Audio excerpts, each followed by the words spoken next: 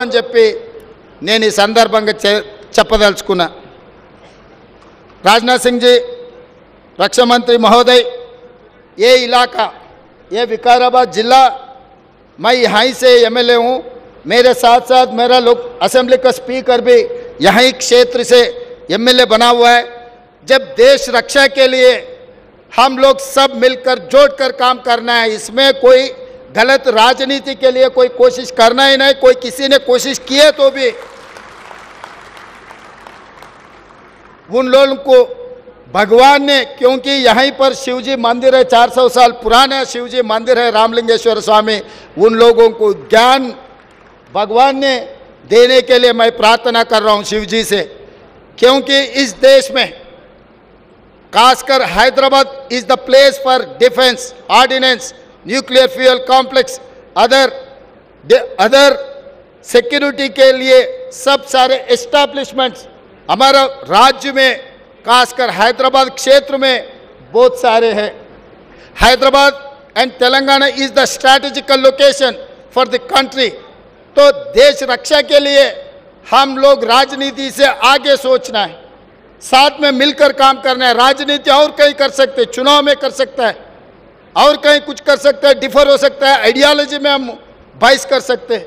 मगर ऐसे देश रक्षा के लिए जब बात आए, सब लोग हम इकट्ठा होकर काम करना है। इसीलिए मैं दूसरे पार्टी के अगर मुख्यमंत्री भी हो, आप और किसी पार्टी के रक्षा मंत्री हो, मगर आप और मैं मिले तो ये देश को रक्षा कर सकते हम सब मिलके ये कार्रवाई आगे लेकर जाना है।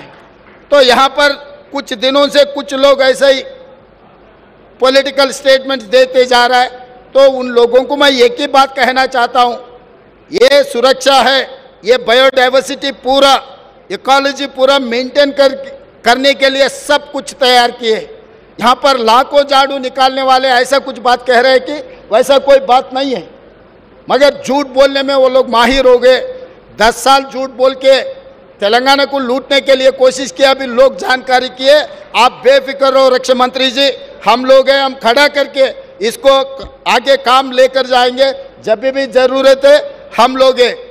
हमारी सरकार तैयार है ये नावल स्टेशन के लिए, ये वीएलएफ आगे बनाने के लिए। आगे यहाँ पर मैं I wanted to tell even navy officers also my government is there to support for construction and other things.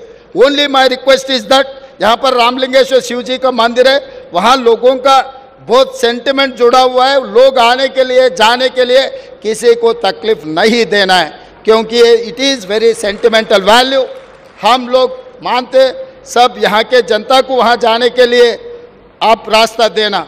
और दूसरी बात रहा, आप एजुकेशनल इंस्टीट्यूट्स जो भी लाना चाह रहे हैं यहाँ पर अच्छा एजुकेशनल इंस्टीट्यूट बनाए तो यहाँ के लोकल स्टूडेंट भी कुछ हिस्सा, कुछ परसेंटेज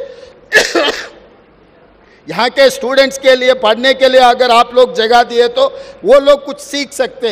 क्योंकि नावी इंटरेक्शन नावी स्टाफ से अगर यहाँ के विद्यार्थी लोग अगर इंटरेक्शन हो गए तो उन लोगों की भी कुछ कुछ एलिवेशन कुछ सोचने के लिए आगे भी उन लोगों के लिए अच्छा होगा।